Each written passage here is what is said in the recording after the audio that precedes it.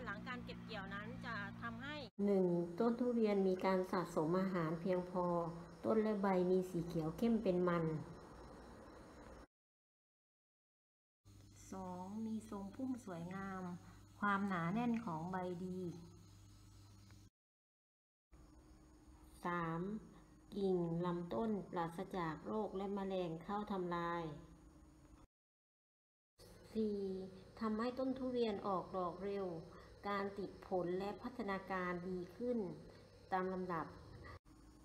5. เมื่อต้นทุเรียนมีความพร้อม ผลผลิตที่ได้ก็จะมีคุณภาพ ปริมาณก็เพิ่มขึ้น เตรียมความพร้อมของต้นทุเรียนหลังการเก็บเกี่ยวนะคะ จะมีอยู่สองขั้นตอนค่ะ วันนี้เราจะมาดูขั้นตอนที่หนึ่งก็คือการตัดแต่งหลังจากเก็บลูกทุเรียนแล้วค่ะ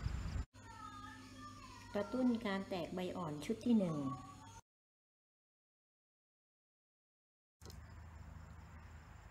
หนึ่งตัดกิ่งแห้ง กิ่งแขนง กิ่งที่เป็นโรค กิ่งที่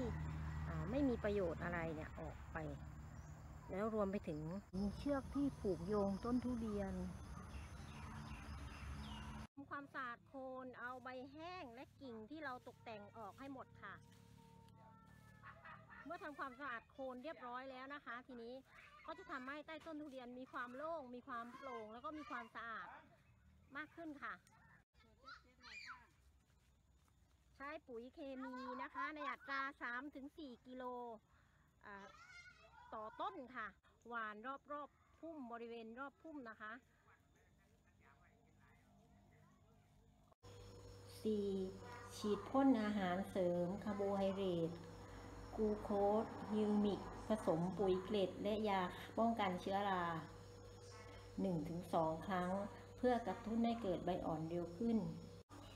หลังจาก 45-60 วัน ใบทุเรียนก็จะแก่เต็มที่ กระตุ้นให้แตกใบอ่อนชุดที่ 2 ต่อไป กระตุ้นการแตกใบอ่อนชุดที่ 2 ให้ทำเหมือนชุดแรก กระตุ้นการแตกใบอ่อนชุดที่ 3 ให้ทำขั้นตอนเหมือนชุดที่ 1 และชุดที่ 2 ผสมอาหารเสริมที่มีแมกนีเซียมสูง สังกะสีสูง และฉีดพ่น 7-10 วัน เพื่อกระตุ้นการแตกใบอ่อนให้เร็วขึ้นค่ะ